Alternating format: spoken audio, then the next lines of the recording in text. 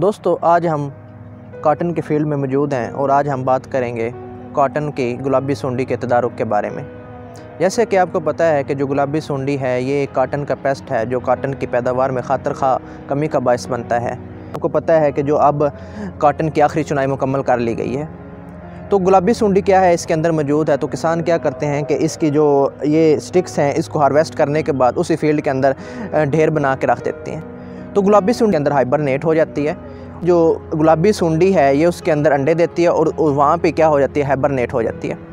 तो जिसकी वजह से जब इसको फरवरी, मार्च में इन्वायरमेंट टेम्परेचर फेवरेबल मिलता है तो ये उसके अंदर दोबारा शुरू हो जाती है। दोस्तों, आपने करना ये है कि हार्वेस्टिंग के बाद आपने या तो स्टिक्स को क्या करने, आग लगा देनी है, ताकि इसका जो मस्कन है, वो पूरी तरह से तबाह हो जाए। या फिर इस तरह करें कि ये जो सारी स्टिक्स हैं, इनको ज़मीन के अंदर गाड़ के ऊपर से रोटावेटर चला दें, जिसकी वजह से जो भी होंगी सूंडियाँ, वो ज़मीन के अंदर दब के खुद ब खुद इनका क्या हो जाएगा? तदारुक हो जाएगा।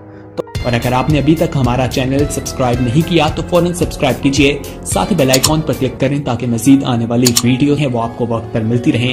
अल्लाह हाफिज़।